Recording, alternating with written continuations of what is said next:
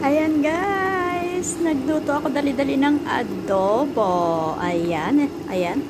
Nilagyan natin siya ng uh, pre-night ko muna yung onion garlic with uh, lemongrass.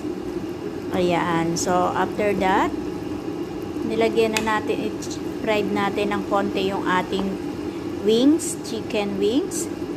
So, of course, medyo lagyan na natin ng mga ingredients natin. Wala naman siya ingredients dyan. Condiments lang ang inilagay ko dyan. Spicy. All is spicy because all available is here. Lahat po ng spicy ay nandyan. Pati ang chicken curry inilagay ko na rin dyan. So, yummy! And sarap naman talaga yan. So, mapapa-um ka na naman. So, di ba? So, igagawin lang natin, i-toasted lang natin. Pero wala na ho siyang ano, sauce gravy na lang siya yan. So, medyo ano na lang, konti na lang para medyo lumambot pa ng konti. Ah, diba? Antaray lang. Gravy, gravy lang pag may time. Ayan. Thanks for watching. Ayan. Chicken wings adobo.